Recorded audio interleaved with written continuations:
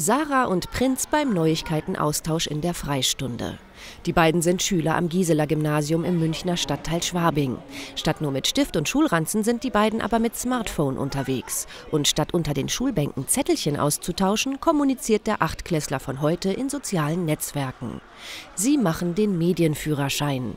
Im Netz verbringen sie nämlich einen großen Teil ihrer Zeit. Ich denke so den halben Tag weil man einfach so, also meistens, um mit den anderen in Kontakt zu sein, mit ihnen zu schreiben, wie der Tag war, um zu wissen, was sie machen und einfach auch allgemein auf dem neuesten Stand zu sein. Damit sie dabei sicher unterwegs sind, war die Klasse der beiden die erste, die den Unterricht für den Medienführerschein in der achten Jahrgangsstufe mitgemacht hat.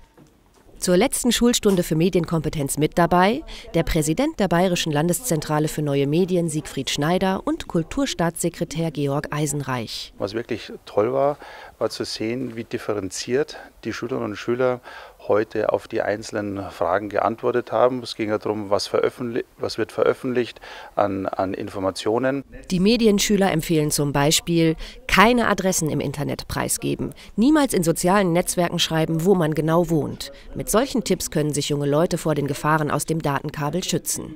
Zunächst mal haben wir eine, eine, Arbeitsgruppe mit Fachleuten äh, besetzt, pädagogisch, aber auch inhaltlich. Hier werden neue Module entwickelt. Wir proben die zuerst mit, mit Referenzschulen. Ein nächster Schritt soll auch sein, die beruflichen Schulen vielleicht zu gewinnen, aber auch der Schritt nach unten hin Richtung Kindergarten ist wichtig, denn die Mediennutzung beginnt immer früher. Ab jetzt stehen die Unterrichtsmaterialien für die achten Klassen auch allen Lehrern in Bayern zur Verfügung. Geprüft und für die sozialen Netzwerke als alltagstauglich befunden. Sarah und Prinz auf jeden Fall haben ihn bereits. Den Medienführerschein!